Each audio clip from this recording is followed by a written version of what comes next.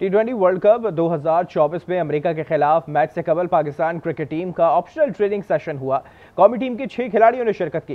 Fast bowler Mohammad Amir, Imad Wasim, Fakhar Zaman, Shaheen Shah Afridi, Abbas Afridi और उस्मान खान ने practice में हिस्सा लिया। इमाद वसीम रिहैब अमल जारी रखने के लिए प्रैक्टिस सेशन में मौजूद थे।